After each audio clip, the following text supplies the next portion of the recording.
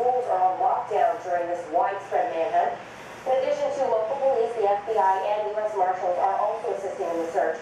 Police are canvassing an area that is heavily wooded in the Fox Lake area. That is a suburb uh, over an hour northwest of Chicago near the Wisconsin border. That's where you see Milwaukee there at the top of your screen. Fox Lake is a community of about 60,000 people. At this time, we're asking all area residents uh, to remain inside, report any suspicious activity, any suspicious people by dialing 911 as we still have three offenders at large. Thank you. And what's not known at this point is if these suspects are still on foot or they have managed to get their hands on a car. If so, there are a number of highways in the area where they could have gotten away. So, of course, we're going to continue to follow this active investigation and bring you the very latest. Back to you. All right, Amanda Thanks, Amanda. Back in this country in Alberta, a major break to tell you about today in a child porn operation. Eight people in the province have been charged with child sexual exploitation. Let's go to Alicia Gilbert, who joins us now with more on this story from Calgary. Alicia. The men arrested are between ages 27 and 60, and they included six people from Calgary, two from the Edmonton area. The detectives targeted people who were distributing large collections through peer-to-peer file sharing networks. And they shared so much, we're talking about more than 100,000 photos and videos of extreme child sex abuse with kids as young as six months old. Now, police forces from several areas in the province worked together to seize 85 computers and electronic devices between September of last year and March 2015. And they say this is just the tip of the iceberg. They express their frustration with the warrant process that slows this down. Now, police say that none of the men arrested are in positions of public trust or authority. Some of them are out on release. Back to you. Alicia Gilbert in Calgary. Good afternoon, story. Thanks to Alicia. Canada fell into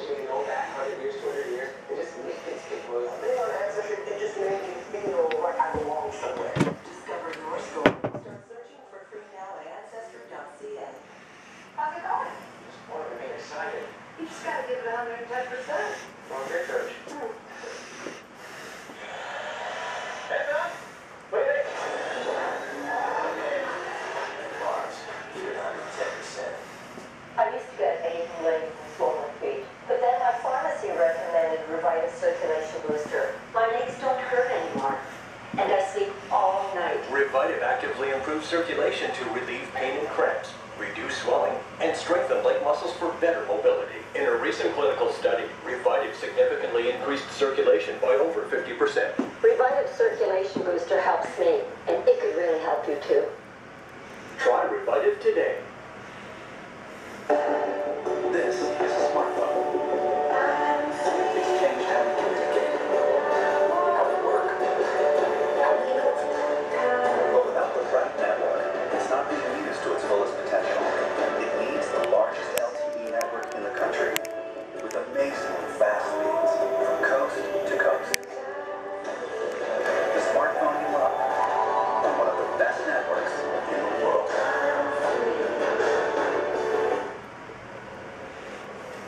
Back to News Channel. Canada fell into a recession for the first six months of this year.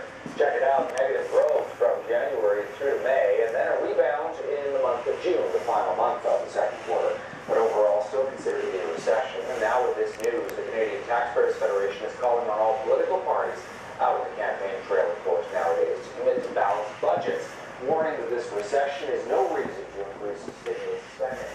That's something